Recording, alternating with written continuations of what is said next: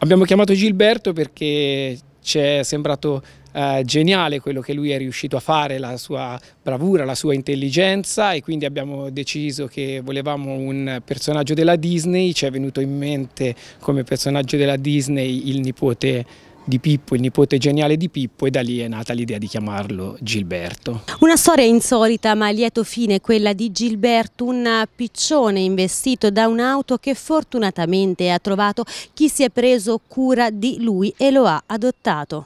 È stato infatti trovato per caso ferito nel centro storico aretino, vagava per strada da circa un mesetto. Sicuramente è stato molto bravo a riuscire a cavarsela in una situazione comunque complessa perché un mese a terra per un piccione è sicuramente una prova di resistenza non da poco. È stato così soccorso e curato da un veterinario che ha accertato la frattura dell'ala e la conseguente calcificazione. Gilberto infatti a causa delle lesioni riportate non potrà più volare.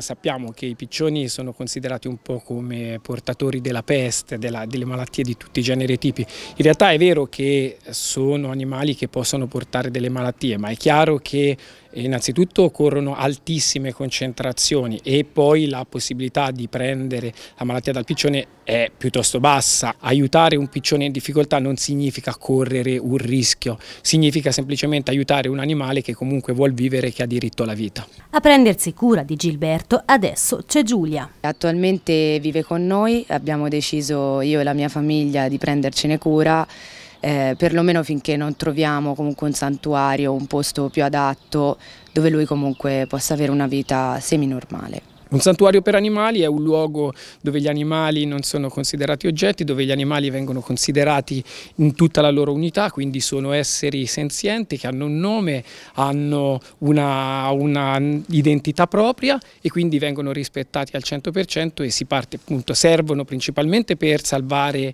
gli animali in difficoltà, ma anche per mandare appunto questo messaggio che ogni animale è un essere a sé e che quindi merita in assoluto la, uh, il diritto alla vita come tutti noi.